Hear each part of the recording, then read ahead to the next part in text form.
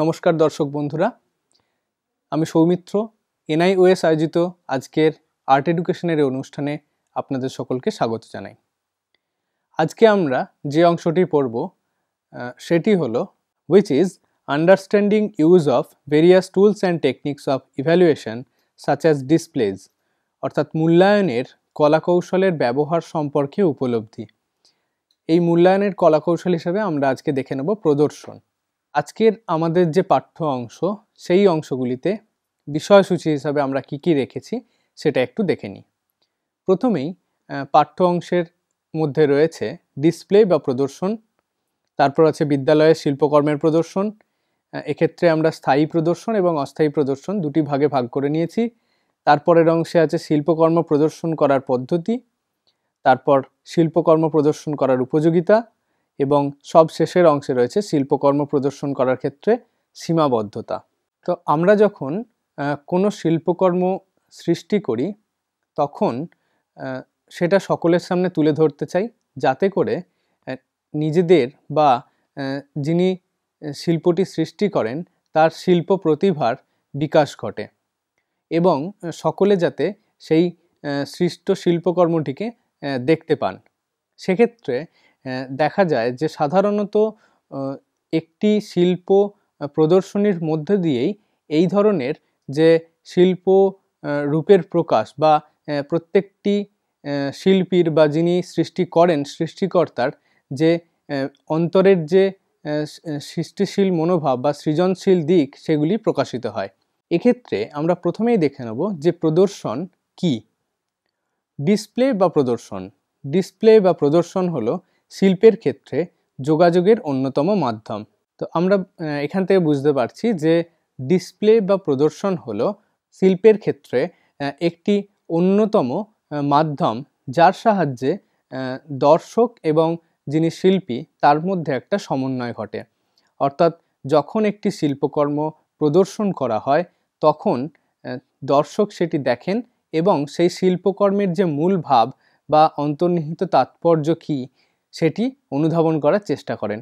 এটি একমাত্র সম্ভব হয় কোনো একটি শিল্পকর্ম প্রদর্শনের মধ্যে দিয়ে। অর্থাৎ যখন প্রদর্শনীতে আমরা যাই প্রদর্শনী দেখি, তখন সাধারণত বিভিন্ন শিল্পকর্ম ডিসপ্লে বা প্রদর্শন করা থাকে।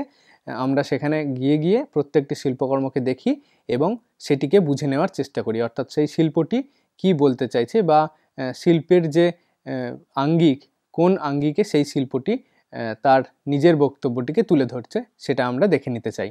এর পরের অংশে দেখব যে ডিসপ্লে মধ্যে আত্মমূল্যায়নের পাশাপাশি যৌথ মূল্যায়নও করা যায়। অর্থাৎ এখানে একটি শিক্ষার্থী যখন তার ছবিটা বা সৃষ্ট শিল্পকর্মটা কোনো প্রদর্শনীর মধ্যে দেখে, তখন সেই প্রদর্শনীতে কীভাবে তার শিল্পটি প্রকাশ পাচ্ছে বা তার যে সৃষ্টি করা শিল্পকর্ম, সে যখন বাড়িতে বা শ্রেণীকক্ষে নিজে নির্মাণ করেছে, তখন যে ধরনের ভুল ত্রুটিগুলি ছিল, সেগুলি হয়তো সে স্পষ্টভাবে বুঝতে পারে না। কিন্তু যখন প্রদর্শনীর মধ্যে আটকানো হয়, প্রত্যেকটি ছবি পাশাপাশি যখন থাকে, প্রতিটি শিক্ষার্থীর যেসব বিশেষ বিশেষ চিত্রগুলি বা বিশেষ বিশেষ সৃষ্ট শিল্পকর্মগুলি প্রদর্শনীর মধ্যে রাখা হয়, তখন দেখা যায় যে একে অন্যের সঙ্গে তুলনামূলক আলোচনার মধ্যে দিয়ে বা একে অন্যের ছবিটা দেখার পরে বুঝতে পারে নিজের ছবিটা কতটি ভালো হয়েছে বা কতটি খারাপ হয়েছে।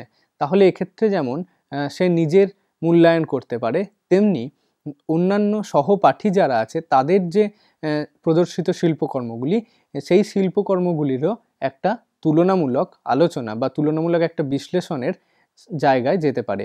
অর্থাৎ প্রত্যেকটি শিল্পের যে বিভিন্ন আঙ্গিক এবং তার যে প্রকাশভঙ্গি সেই সম্পূর্ণ প্রকাশভঙ্গির দিক এবং শিল্পের মূল যে গোড়ার কথা, সেই গোড়ার কথাটি অনুধাবন করার বা বুঝবার চেষ্টা করে এই প্রদর্শনের মধ্যে দিয়ে। তাহলে আমরা একটা জিনিস দেখলাম যে এক্ষেত্রে আত্মমূল্যায়ন যেমন করতে পারে শিক্ষার্থী, তেমনি পারস্পরিক বা তুলনামূলক একটা মূল্যায়নও করে নিতে পারে। একজন শিক্ষার্থী অন্য সহপাঠী যে শিক্ষার্থীদের সঙ্গে বা তাদের শিল্পকর্মের সঙ্গে নিজেদের শিল্পকর্মকে তুলনামূলকভাবে একটা বিচার করতে পারে। এরপরের অংশে দেখব যে এই প্রদর্শনের মধ্যে দিয়ে শিশুরা কোনো একটি নির্দিষ্ট বিষয় সম্পর্কে স্পষ্ট ধারণা তৈরি করতে পারে। অর্থাৎ যখন কোনো একটি শিল্পকর্ম সৃষ্টি করতে দেওয়া হবে, অর্থাৎ শ্রেণীতে যখন কোনো শিল্পকর্ম তৈরি করানো হবে, তখন শিক্ষক একটি বিষয় নির্বাচন করে দেবেন। সেক্ষেত্রে দেখা যায় শিক্ষার্থী সেই বিষয়ে নির্দিষ্ট কিছু জ্ঞান অর্জন করে। এবং তারপরেই সে ওই শিল্পকর্মটি সম্পাদন করে। এক্ষেত্রে এই প্রত্যেকটি বিষয়ে যখন শিল্পকর্ম তৈরি করে, তখন যেহেতু তাকে নানা রকম সোর্স থেকে বা নানা রকম উৎস থেকে এই তথ্যগুলি সংগ্রহ করতে হয়, সেই কারণে দেখা যায় যে বিভিন্ন ক্ষেত্রের বা বিভিন্ন বিষয়ের সম্পর্কে শিক্ষার্থী সাধারণ জ্ঞান বা বিশেষ জ্ঞান অর্জন করতে পারে। এক্ষেত্রে শুধুমাত্র যে একটি বিষয়েই তার নির্দিষ্ট জ্ঞানটি থাকছে, এমনটা কিন্তু নাও হতে পারে। বিষয়ের প্রত্যেকটি বিষয়ের, অর্থাৎ মিসলেনিয়াস দিক থেকে তারা কিন্তু এই ধরনের জ্ঞান অর্জন করে নিতে পারে। এরপরের অংশে আমরা দেখব শিল্পকর্মের প্রদর্শনের মধ্যে দিয়ে শিক্ষক ও শিক্ষার্থীর মধ্যে একাত্মতার বোধ তৈরি হয়।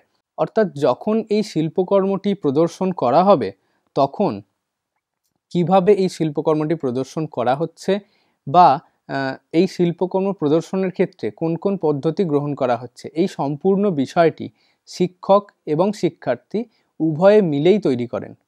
অর্থাৎ যতক্ষণ না প্রদর্শনটি করা হচ্ছে, তার আগের যে পূর্ব প্রস্তুতির স্তর, সেই স্তরে শিক্ষক এবং শিক্ষার্থী যৌথভাবে এই কাজটি করে থাকেন। এর ফলে কি হয়? যখন তারা সকলে মিলে একসাথে কাজটি করেন তখন প্রত্যেকের মধ্যে একটা বন্ধুত্বপূর্ণ সম্পর্ক তৈরি হয়। এর ফলে দেখা যায় শিক্ষক এবং শিক্ষার্থীর মধ্যে একটা খুব সুন্দর সুসম্পর্ক একটা তৈরি হয়ে যায়। এর পরের পয়েন্টে দেখতে পাচ্ছি যে তারা নিজেদের কাজের জন্য গর্ব অনুভব করে। এজন্য প্রতিটি শ্রেণীকক্ষের একটি কোণে শিশুদের শিল্প প্রদর্শনের জায়গা থাকা প্রয়োজন। এটা কীরকম না, যেহেতু আমরা বলছি যে এই শিল্প প্রদর্শনের মধ্যে দিয়ে শিক্ষার্থী আত্মবিশ্বাসী হয়ে ওঠে বা তার যে শিল্প সৃষ্টির যে তাগিদ, সেই তাগিদটা আরও বাড়তে থাকে।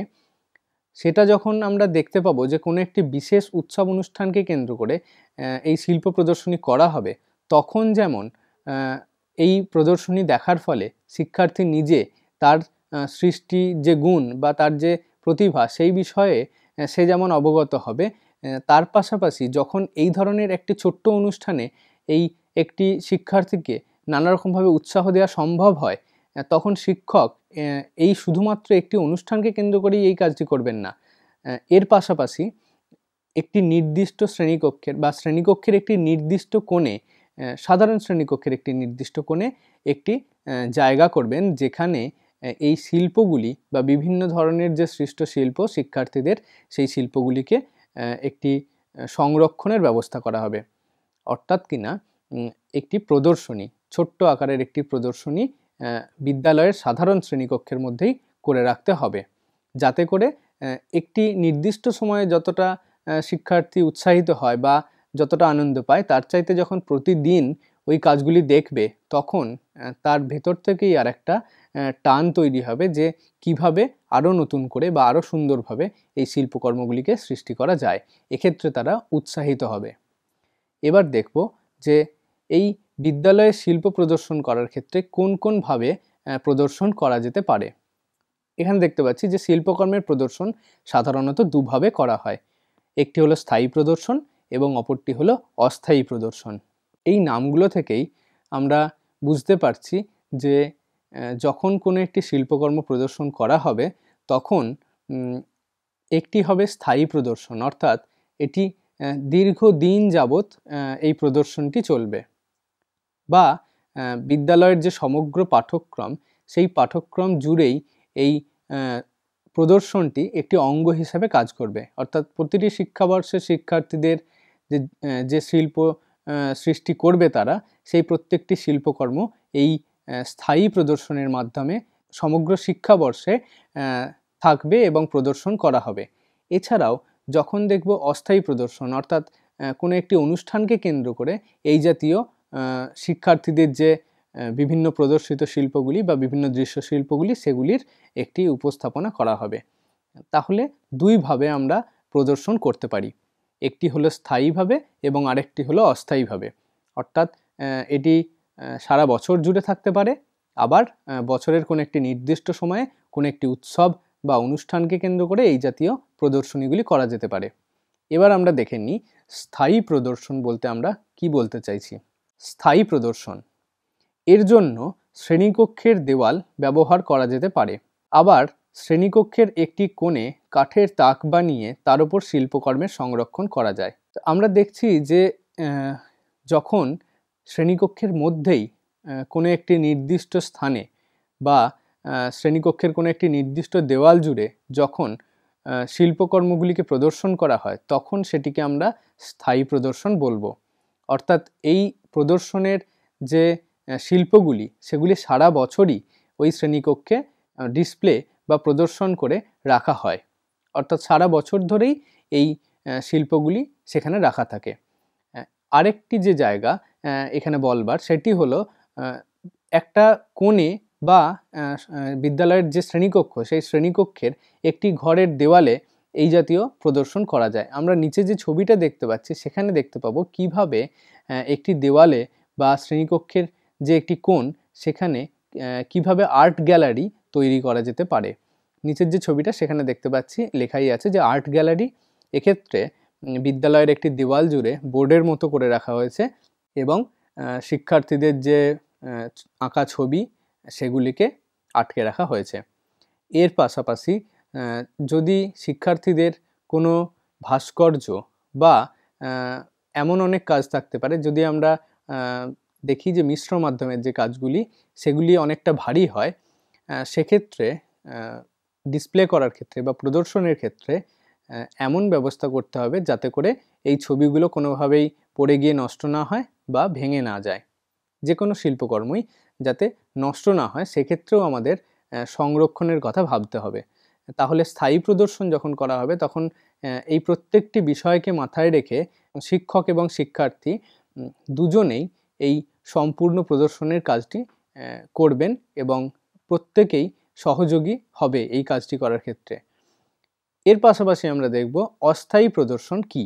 যখন কোনো অনুষ্ঠানকে কেন্দ্র করে অল্প কয়েক দিনের জন্য প্যান্ডেল তৈরি করে প্রদর্শনী করা হয়, তখন তাকে অস্থায়ী প্রদর্শন বলে।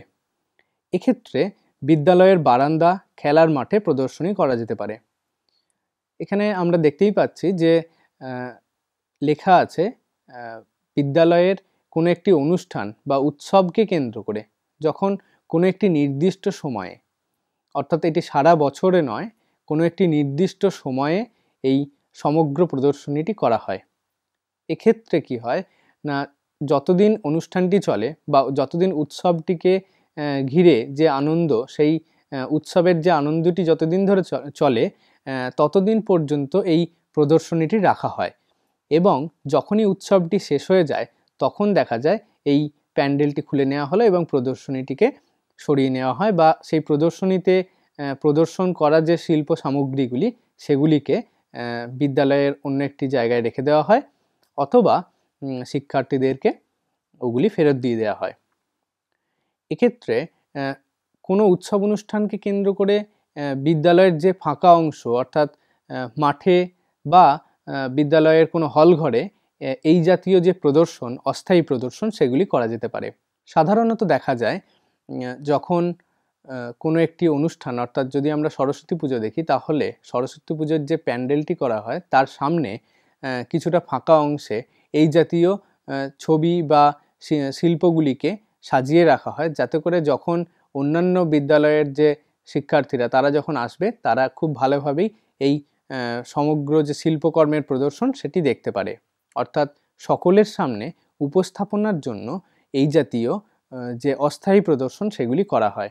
কিন্তু যখন স্থায়ী প্রদর্শন করা হবে, তখন সেটি সকলের জন্য বা সর্বসমক্ষে তুলে ধরার জন্য নয়, শুধুমাত্র বিদ্যালয়ের যে নির্দিষ্ট শ্রেণি, সেই নির্দিষ্ট শ্রেণির শিক্ষার্থীরাই যাতে সেগুলিকে দেখে আনন্দ পায় এবং নিজেরা যাতে আরও অনুপ্রাণিত হয় ওই কাজগুলি করার ক্ষেত্রে, সেই কারণে স্থায়ী প্রদর্শনীর আয়োজন করা হয় এবং যখন অস্থায়ী প্রদর্শন করা হয়, তখন সেটা সর্বসাধারণের জন্য করা হয়। এটিই হলো স্থায়ী এবং অস্থায়ী প্রদর্শনের মধ্যে একটি মূলগত পার্থক্য। এরপরের যে অংশটি, সেখানে আমরা দেখব শিল্পকর্ম প্রদর্শন করার পদ্ধতি কি কি, অর্থাৎ কোন কোন উপায়ে এই শিল্পকর্মটি প্রদর্শন করা যেতে পারে। প্রথমেই প্রদর্শনের জন্য দিন নির্দিষ্ট করতে হবে।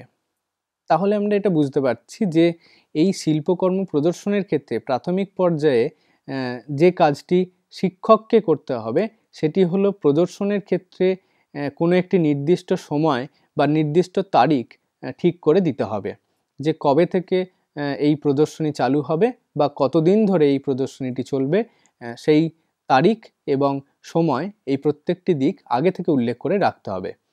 এরপর বলা আছে যে পরে শিক্ষার্থীদের শিল্পকর্মগুলি জমা দিতে বলা হবে। প্রাথমিক পর্যায়ে যখন দিন স্থির হয়ে যাবে, প্রদর্শনীর ক্ষেত্রে যে কোন কোন দিন প্রদর্শন করা হবে সেটা যখন স্থির হয়ে যাবে তারপর শিক্ষার্থীদের বলা হবে যে কোনো একটি নির্দিষ্ট তারিখের মধ্যে বা কোনো একটি দিন ধার্য করা হবে যে সেই দিনের মধ্যে শিক্ষার্থীদের সমস্ত শিল্পকর্মগুলি জমা দিতে হবে। কেননা, এর পরের যে অংশটি, সেটি হলো শিক্ষকের একটি মূল বিষয় যেখানে প্রদর্শনের ক্ষেত্রে শিক্ষক কীভাবে প্রদর্শনটি করবেন তা এর পরের যে অংশটি, সেখানে গিয়েই স্থির করা হবে। দেখে নি কী আছে পরের অংশে, জমা দেওয়া শিল্পকর্মগুলি বাছাই করতে হবে। অর্থাৎ এটি হলো এই প্রদর্শনের অন্যতম একটা অংশ। অর্থাৎ শিক্ষক যখন প্রত্যেকটা শিল্পকর্মকে বাছাই করবেন, সেই বাছাইয়ের ক্ষেত্রে খুব মনোযোগ সহকারে শিক্ষক এই কাজটি করবেন। কেননা কোন শিল্পকর্মটি প্রদর্শনের উপযুক্ত, সেটা শুধুমাত্র শিক্ষকই নির্বাচন করবেন। এর ফলে কি হয়, শিক্ষকের ওপর একটা দায়িত্ব থেকে যায় যে শিল্পকর্মের মূল্যায়নের ক্ষেত্রে যাতে কোনো রকম অসুবিধা না হয় বা মূল্যায়নের ক্ষেত্রে কোনো সমস্যা না হয়, সেই দিকগুলি যেন শিক্ষক দেখে নিতে পারেন। এই প্রত্যেকটি বিষয় তাহলে শিক্ষকের যে মনে রাখার বিষয় বা শিক্ষকের দেখার বিষয়, সেগুলি আমরা এই পদ্ধতির মধ্যে দিয়ে দেখতে পাচ্ছি। এরপরের অংশে রয়েছে, তারপর প্রদর্শনের উপযুক্ত স্থান নির্ধারণ করতে হবে। অর্থাৎ কোন জায়গায় বা কোন স্থানে, বিদ্যালয়ের কোন অংশে এই জাতীয় প্রদর্শনী করা হবে বা যদি শ্রেণীকক্ষে করা হয়, তাহলে শ্রেণীকক্ষের কোন অংশে এই জাতীয় প্রদর্শনী করা হবে সেটা শিক্ষক নিজেই স্থির করে নেবেন। এরপর হচ্ছে বিভিন্ন আঙ্গিকগুলি বা বিভিন্ন আঙ্গিকের শিল্পগুলি কীভাবে প্রদর্শন করা হবে তা ঠিক করে নিতে হবে। অর্থাৎ যখন প্রদর্শনী করা হবে, তখন তো এলোমেলোভাবে যে কোনো ছবি আটকে দিলেই হবে না। সেক্ষেত্রে একটা নির্দিষ্ট পদ্ধতি মেনে বা প্রদর্শনীটাকে সুন্দরভাবে সাজানোর জন্য কি কি উপায়ে কাজটি করা হবে সেটিও শিক্ষক আগে থেকেই পূর্ব পরিকল্পনা করে নেবেন। অর্থাৎ যদি আমরা কোনো একটা হল ঘরের মধ্যে প্রদর্শনীটা করি, তাহলে প্রত্যেকটি দেওয়ালের কোন দিকে কোন কোন ধরনের ছবি থাকবে বা কোথায় ভাস্কর্যগুলি রাখা হবে, এইভাবে চিত্র বা ছবি এর একটা আলাদা দেওয়াল এবং অন্যদিকে যখন ক্রিয়েটিভ কোনো কাজ হবে, সেই ক্রিয়েটিভ যে শিল্পগুলি, সেগুলির একটি আলাদা দেওয়াল এবং যখন ভাস্কর্যগুলি উপস্থাপন করা হবে, তখন সেই ভাস্কর্য প্রদর্শনের জন্য একটি নির্দিষ্ট স্থান করে দিতে হবে। এক্ষেত্রে দেখা যায় সাধারণত যে কোনো একটি হলঘরে যখন প্রদর্শনীটি করা হয়, তখন দেওয়াল জুড়ে বিভিন্ন ধরনের ছবি লাগানো থাকে এবং হলের যে মাঝখানের অংশগুলি যেখানটে ফাঁকা থাকে, সেই অংশে ভাস্কর্যগুলিকে রাখা হয়। কেননা, এই ভাস্কর্যগুলি শুধুমাত্র দ্বিমাত্রিক হয় না, অর্থাৎ ভাস্কর্যের ক্ষেত্রে থার্ড ডায়মেনশন বা ভাস্কর্য সাধারণত তিনটে মাত্রাকেই বহন করে। শিল্পের যে তিনটে মাত্রার কথা আমরা বলি দৈর্ঘ্য প্রস্থ এবং উচ্চতা, এই প্রত্যেকটি মাত্রাকেই বহন করে এই ভাস্কর্যগুলি। সেই কারণে, যখন ভাস্কর্য প্রদর্শন করা হবে তখন সেটি এমনভাবে রাখতে হবে যাতে করে প্রত্যেকে ওই ভাস্কর্যগুলিকে যথাযথভাবে দেখতে পারেন এবং তার যে শিল্পটি অর্থাৎ শিক্ষার্থীদের যে সৃষ্ট শিল্পকর্মটি সেটি যেন যথাযথ মূল্যায়ন হয়। এক্ষেত্রে কি হয়? সাধারণত যদি কোনো ছবি কথা বলি আমরা বা চিত্রের প্রদর্শনী যদি করা হয়, সাধারণত আমরা দেখে থাকি যে চিত্র দ্বিমাত্রিক হয়। সেই দ্বিমাত্রিক চিত্রের ক্ষেত্রে আমরা দেওয়ালের মধ্যেই ছবিটা আটকাতে পারি। এছাড়াও এখন দেখা যায় যে বিভিন্ন ধরনের ত্রিমাত্রিক ছবিও বা চিত্রের জগতে থার্ড ডাইমেনশনও ঢুকে গেছে। এর ফলে এই জাতীয় ছবিগুলিকে এমনভাবে উপস্থাপন করতে হবে যাতে দর্শকেরা এসে সেই ছবিটি ভালোভাবে দেখতে পারেন। এরপরের যে অংশ, সেখানে দেখতে পাচ্ছি প্রদর্শনের সময় শিল্পকর্মগুলি দেখাশোনার জন্য শিক্ষক শিক্ষার্থী দল তৈরি করে নিতে হবে। নির্দিষ্ট সময় অন্তর এক একটি দল এই কাজটি করবে। যখন প্রদর্শনটি করা হবে, তখন প্রদর্শনের মধ্যে যে সকল চিত্র এবং ভাস্কর্য, অর্থাৎ যে ধরনের শিল্পকর্মগুলি প্রদর্শন করা হবে, সেগুলি যাতে ঠিকমতো সংরক্ষণ করা হয় বা সংরক্ষণ করা যায়, তার জন্য শিক্ষক আগে থেকেই একটি দল তৈরি করে রাখবেন। প্রয়োজনে একের বেশি দল তৈরি করে রাখবেন, যাতে করে যখন প্রদর্শনীটি হবে তখন প্রত্যেকটি দল তাদের নিজেদের নির্দিষ্ট সময়ে নিজেদের কাজগুলি করতে পারে। যেমন কি, না বিভিন্ন সময়ে দর্শকেরা আসেন এবং দর্শকেরা যাতে ভালোভাবে প্রত্যেকটা ছবিকে দেখতে পান এবং কোনো কোনোভাবেই যেন সেই ছবিগুলি বা ভাস্কর্যগুলি নষ্ট না হয়ে যায়, তার জন্য এই এক একটি দলকে দায়িত্ব নিতে হবে। কেননা সেই যথাযথভাবে যদি সেই দায়িত্বটি পালন না করা হয়, তাহলে দেখা যেতে পারে প্রদর্শনের ক্ষেত্রে অনেক সময় অনেক শিল্পকর্ম নষ্ট হয়ে যেতে পারে। এক্ষেত্রে শিক্ষক শিক্ষার্থীদের এই কাজটি করতে সাহায্য করবেন এবং এক একটি দলে ভাগ করে নিয়ে এই সম্পূর্ণ শিল্প প্রদর্শনের কাজটি শিক্ষার্থীরা করবে। এর পরের যে অংশটি, সেখানে আমরা দেখতে পাচ্ছি শিল্পকর্ম প্রদর্শন করার উপযোগিতা। শ্রেণীকক্ষে একটি নির্দিষ্ট কাজ করার সময় শিক্ষার্থীরা শিল্পকর্ম তৈরি করতে ব্যস্ত থাকে। যে কারণে একে অন্যের কাজ দেখতে পারে না। প্রদর্শনী প্রত্যেকের শিল্পকর্ম দেখার সুযোগ করে দেয়। অর্থাৎ যখন শ্রেণীকক্ষে, একটি শ্রেণীতে শিক্ষক পাঠদান করেন, তখন একটি নির্দিষ্ট সময় নির্ধারণ করা হয়। অর্থাৎ প্রত্যেকটি পিরিয়ডের জন্য আলাদা আলাদা সময় থাকে। সেটা তিরিশ মিনিট বা চল্লিশ মিনিট এরকম হতে পারে। এক্ষেত্রে দেখা যায় যখন শিক্ষক এই নির্দিষ্ট সময়ের মধ্যে সমগ্র শিল্পকর্মটি শিক্ষার্থীদের দিয়ে করিয়ে নেন, তখন শিক্ষার্থীরা নিজেদের ওই শিল্পকর্ম সৃষ্টিতেই ব্যস্ত থাকে। সহপাঠীরা কোন কোন ধরনের শিল্পকর্ম তৈরি করল, সেগুলি তারা তখন দেখতে পায় না। যে কারণে শিক্ষক একটি শিল্প প্রদর্শনীর আয়োজন করেন, যেখানে প্রত্যেকের, অর্থাৎ প্রত্যেকটি শিক্ষার্থীর যে শিল্পের প্রদর্শন, সেটি করা হয়ে থাকে। এর ফলে কি হয়, সেখানে একটি জায়গাতেই তারা সকলেই প্রত্যেকের আলাদা আলাদা যে সৃষ্ট শিল্পগুলি সেগুলিকে পরপর দেখতে পায় এবং কে কীভাবে কাজটি করেছে সেটিও তারা বুঝতে পারে। এক্ষেত্রে দেখা যায় শিক্ষার্থীরা নিজেদের যেমন মূল্যায়ন করতে পারে, তেমনি তুলনামূলকভাবে একে অন্যের সঙ্গে বা একে অন্যের শিল্পের সঙ্গে মিলিয়ে নিজেদের শিল্পটাকে বুঝতে পারে বা নিজেদের যে শিল্পের গুণাগুণ সেটিকে বিচার করতে পারে। এবার আমরা দেখব যে এই শিল্পকর্ম প্রদর্শনের মাধ্যমে কি কি উপযোগিতা বা কোন কোন সুবিধাগুলো আমরা পেতে পারি? শিল্পকর্ম প্রদর্শনের মাধ্যমে শিক্ষার্থীদের নানা উপকার হয়, যেমন আত্মমূল্যায়ন। প্রথমেই দেখতে পাচ্ছি যে প্রদর্শিত শিল্পকর্ম শিক্ষার্থীকে আত্মমূল্যায়নে সাহায্য করে। শিক্ষার্থী যখন কাজটি করে, তখন সে তার নিজের ভুল ত্রুটি বুঝতে পারে না। কিন্তু প্রদর্শনী সেই সব ভুল ত্রুটি বুঝতে সাহায্য করে। এর জন্য ভবিষ্যতে সে নিজের কাজের সংশোধন করতে পারে। অর্থাৎ যখন কোনো একটি শ্রেণীতে বা আর্ট এডুকেশনের যে ক্লাসটি হবে, সেখানে দেখা যাবে যে একটি শিক্ষার্থী নিজের শিল্পকর্মটি তৈরি করছে। সেক্ষেত্রে সে কতখানি ঠিক করল, সেটি বোঝার জন্য সেই ছবিটিকে একটি প্রদর্শনীর আকারে সাজানো দরকার। যখন সেটি প্রদর্শনীর মধ্যে সাজানো হবে, তখন প্রদর্শনীর ক্ষেত্রে সাধারণত যেরকমভাবে দেখা হয়, অর্থাৎ দূর থেকে একটা নির্দিষ্ট ডিস্টেন্স রেখে বা নির্দিষ্ট দূরত্বে ছবিটিকে তো দেখা হয়, সেক্ষেত্রে সেই দূরত্বে দাঁড়িয়ে ছবিটিকে কতটি ভালো লাগছে বা সেটি কতখানি শিল্পের উপযোগী হয়েছে, সেই বিষয়গুলি শিক্ষার্থী নিজে নিজেই বুঝতে পারবে। অর্থাৎ এক্ষেত্রে প্রথমেই আত্মমূল্যায়নের জন্য তার সেই ছবিটিকে প্রদর্শন করা দরকার। ছবি হোক বা ভাস্কর্য হোক, তার শিল্পটি প্রদর্শন করা দরকার।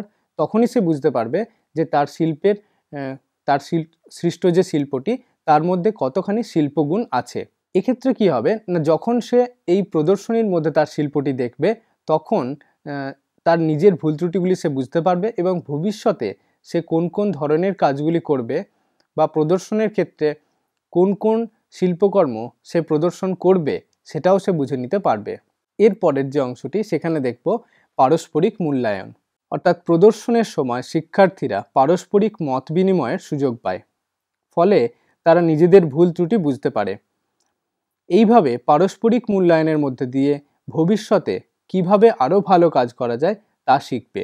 না, যখন কোনো একটি নির্দিষ্ট বিষয়ে তো শ্রেণীকক্ষে পাঠদান করা হয় সেক্ষেত্রে এই শিল্পের ক্লাসটিতে কোনো একটি নির্দিষ্ট বিষয়ে যখন শিল্প সৃষ্টি করতে দেওয়া হবে শিক্ষার্থীদের, তখন সেই বিষয়টিকে কীভাবে প্রত্যেক শিক্ষার্থী আলাদা আলাদাভাবে নিজেদের মতো করে উপস্থাপন করতে পারছে, সেই উপস্থাপনের কৌশলগুলি বা প্রত্যেকের যে আলাদা আলাদা স্টাইল সেই স্টাইল বা রীতিটাকে বুঝে নিতে পারবে। এর পাশাপাশি কি হবে? যখন দেখবে যে তার কাজটি অন্য কারুর থেকে একটু নিম্নমানের হয়েছে বা কোনো একজন শিক্ষার্থী খুব ভালো কাজ করেছে, তখন সেই শিক্ষার্থীর যে ভালো কাজটি করেছে তার দেখে দেখে অনুপ্রাণিত হয়ে শিক্ষার্থীরা নিজেরাই পরবর্তীকালে আরও ভালো শিল্প সৃষ্টি করতে চাইবে। এরপরের যে অংশটি সেটি দেখতে পাচ্ছি আত্মবিশ্বাস বৃদ্ধি। অর্থাৎ বিদ্যালয়ে প্রত্যেক শিক্ষার্থীর কাজ প্রদর্শন করা হলে সকলেরই আত্মবিশ্বাস বৃদ্ধি পায়। যখন এই প্রত্যেক শিক্ষার্থীর সৃষ্টি করা শিল্পকর্মগুলি তারা প্রদর্শনীর মধ্যে দেখবে, তখন খুব স্বাভাবিকভাবেই নিজেদের যে বিশ্বাস অর্থাৎ আত্মবিশ্বাস সেটা বাড়বে এবং নিজেরা পরবর্তীকালে আরও ভালো শিল্প সৃষ্টি করতে চাইবে। এবার দেখতে পাচ্ছি যে নূতন ধারণার বিকাশ। প্রত্যেক শিক্ষার্থীর ভাবনা যেহেতু আলাদা, তাই প্রত্যেকের কাজও আলাদা আলাদা হয়। প্রদর্শনীতে বিভিন্ন ধরনের কাজ দেখতে দেখতে শিক্ষার্থীর মনে নূতন শিল্পকর্ম সৃষ্টির প্রতি আগ্রহ জন্মায়।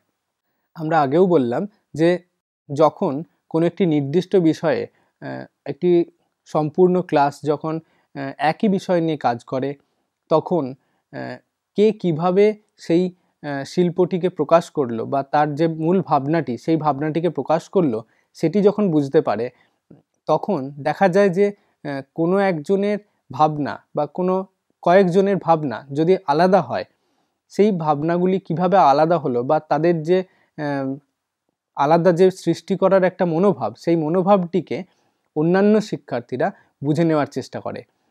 এর ফলে কি হয়? পারস্পরিক একটা ভাব বিনিময় হয়। অর্থাৎ যেমন আমরা সাধারণত দেখি, যদি কেউ কাউকে আদর্শ হিসাবে গ্রহণ করে, সেই আদর্শ হিসেবে গ্রহণ গ্রহণ করার ফলে তার যে একটা চারিত্রিক বৈশিষ্ট্য হোক বা তার শিল্প সৃষ্টির যে প্রভাব হোক, সেটা পরবর্তী ক্ষেত্রে ওই শিক্ষার্থীর মধ্যে চলে আসে। এই রকমভাবে দেখা যেতে পারে যে যখন কোনো একটি ভালো শিল্প দেখছে সে বা উন্নত মানের কোনো একটি শিল্প যখন সে দেখে, তখন সেই শিল্পের যে ভালো গুণাগুণ, সেই গুণাগুণগুলো পরবর্তী ক্ষেত্রে তার সেই শিল্প সৃষ্টির মধ্যে দিয়ে বা সৃষ্টিকর্মের পথে দেখা যেতে পারে, বিভিন্ন ক্ষেত্রে প্রকাশ পায়। এর পরের যে অংশটি, সেটি হলো এই শিল্পের যে প্রদর্শন, সেক্ষেত্রে কি কি ধরনের সীমাবদ্ধতা দেখা যেতে পারে। এক্ষেত্রে নানান রকম অসুবিধার সৃষ্টি হতে পারে, কারণ যেহেতু বিদ্যালয়ের সংখ্যা বা শিক্ষার্থীদের যে সংখ্যা বিদ্যালয়ে, সেটি অনেক বেশি হয়। সেই কারণে প্রত্যেক শিক্ষার্থীকে কি করে যথোচিতভাবে মর্যাদা দিয়ে বা মূল্য দিয়ে তাদের শিল্পকর্মগুলিকে প্রদর্শন করা হবে, সেই বিষয়ে কিন্তু শিক্ষকদের যথেষ্ট দায়িত্ব পালন করতে হয়। এক্ষেত্রে কি কি সীমাবদ্ধতার দিক সেগুলি আমরা একটু দেখে নিই। প্রথমেই দেখতে পাচ্ছি, প্রদর্শনের সময় সকল শিক্ষার্থীর শিল্পকর্মকে স্থান দেওয়া যায় না।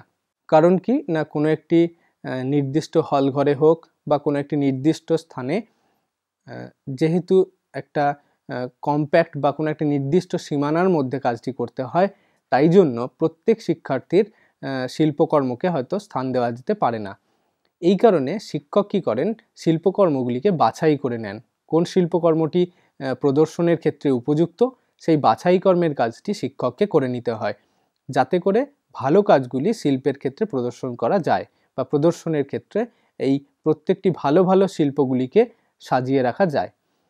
এরপরের যে অংশটি, সেখানে দেখতে পাচ্ছি শিক্ষার্থীদের মনের মধ্যে অসন্তোষ জন্মাতে পারে। যেহেতু আমরা বলছি যে শিক্ষার্থীর সকল শিক্ষার্থীর এই প্রত্যেকটি প্রদর্শনকে রাখা সম্ভব হয় না বা প্রত্যেকটি শিল্পকর্মকে প্রদর্শনীর মধ্যে রাখা যায় না, সেই কারণে কি হয় অনেক শিক্ষার্থী মধ্যে দেখা যায় যে তাদের মনের মধ্যে একটা অসন্তোষ সৃষ্টি হচ্ছে। অর্থাৎ কেন তাদের শিল্পকর্মটি প্রদর্শনীতে রাখা হলো না, এই বিষয়ে তাদের একটা মনক্ষুণ্ণতার একটা জায়গা তৈরি হয়। এর ফলে কি হয়, এই জাতীয় যে শিক্ষার্থী, তারা কিন্তু পরবর্তী ক্ষেত্রে আর এই শিল্পকর্মের প্রদর্শনের ক্ষেত্রে এগিয়ে আসে না এবং তাদের যে সৃষ্টি করা শিল্পকর্ম সেগুলি প্রদর্শন করতে চায় না। এটাও একটা সীমাবদ্ধতার জায়গা। এরপরের যে অংশটি, সেখানে আমরা দেখতে পাচ্ছি সংরক্ষণ করার ক্ষেত্রে নানা রকম অসুবিধা হয়। অর্থাৎ কীভাবে এই প্রদর্শনীটাকে সংরক্ষণ করা হবে, অর্থাৎ যতদিন ধরে এই প্রদর্শনীটি চলবে, ততদিন কীভাবে প্রত্যেকটি শিল্পকর্ম অবিকৃতভাবে বা নষ্ট না করে কীভাবে রাখা যাবে সেই সংরক্ষণের দিকটিও কিন্তু এই প্রদর্শনের একটা অন্যতম দিক।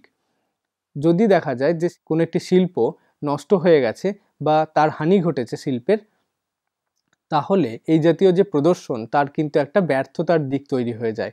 অর্থাৎ প্রদর্শনীর ক্ষেত্রে এটাও একটা সীমাবদ্ধতার দিক যে প্রত্যেকটি শিল্প যেন নির্দিষ্টভাবে সংরক্ষণ করে রাখা যায়।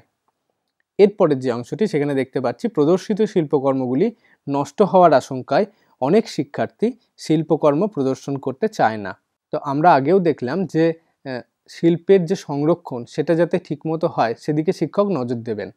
যদি সেটা না হয়, তাহলে দেখা যায় যে, অনেক সময় এই জাতীয় শিল্পের প্রদর্শনের ক্ষেত্রে যে সকল শিক্ষার্থী ভালো কাজ করতে পারে, তারা শিল্পের প্রদর্শন করতে চায় না। কেননা তাদের সেই শিল্পকর্মগুলি নষ্ট হয়ে যাওয়ার একটা সম্ভাবনা থাকে। তাহলে এই জাতীয় যখন প্রদর্শন করা হবে, তখন আমাদের এই প্রত্যেকটা বিষয়কে মাথায় রেখে প্রদর্শনীটি করতে হবে। তাহলে আজকে আমরা যে যে অংশগুলি দেখলাম, তার মধ্যে দেখতে পেলাম প্রদর্শনী কি এবং কি কীভাবে প্রদর্শনী করা হয়, অর্থাৎ স্থায়ী মাধ্যম এবং অস্থায়ী মাধ্যম। এই স্থায়ী মাধ্যমে কীভাবে প্রদর্শনী করা হয় এবং সেটি শিক্ষার্থীদের মধ্যে কতখানি গুরুত্বপূর্ণ ভূমিকা পালন করে এবং অস্থায়ী মাধ্যম কীভাবে শিক্ষার্থীদের একটা অনুপ্রাণিত করে শিল্প সৃষ্টির ক্ষেত্রে সেই প্রত্যেকটা দিক আমরা দেখলাম এবং কীভাবে প্রদর্শনীর ক্ষেত্রে নানান সীমাবদ্ধতা থাকে এবং সেই সীমাবদ্ধতাকে কাটিয়ে কীভাবে প্রদর্শনী করা উচিত বিদ্যালয় ক্ষেত্রে সেই প্রত্যেকটা দিক আমরা দেখে নিতে পারলাম। আশা করি আজকের অনুষ্ঠান ভালো লেগেছে। Thank you